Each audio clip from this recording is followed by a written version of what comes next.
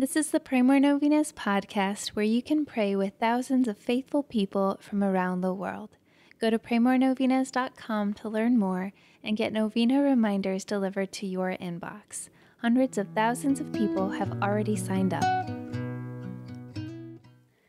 Peace be with you. It's said that St. Maria's greatest virtue was her forgiveness of her attacker, even in the midst of horrible physical suffering. That's why she's been called the Little Saint of Great Mercy.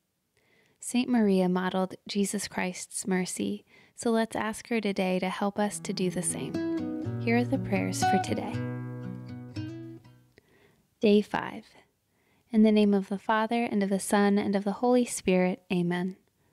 O Saint Maria Goretti, beautiful model of mercy, pray for me. God's mercy is the only hope for mankind. I know we are called to imitate our Father's mercy to those around us, but it is hard and I often fail.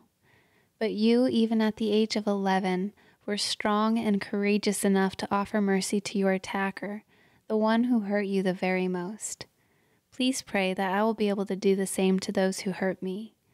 Please pray that I will not consider their unworthiness, but that I may consider our Lord as you did. Please also pray for Mention your intentions here.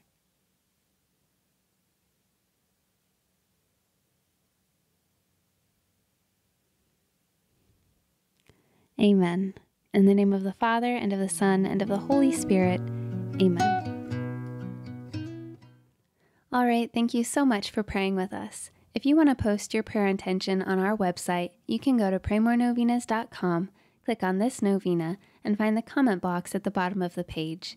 And please share this novena with your friends and families to help them pray more novenas. God bless you. I'm Annie from praymorenovenas.com. To pray this and other powerful novenas with thousands of faithful people from all over the world, head over to praymorenovenas.com to sign up for your very own novena reminder emails. And if this novena has been a blessing to you, you can go to praymorenovenas.com slash support to make a small donation. Thank you so much for joining us in prayer. We're praying for you.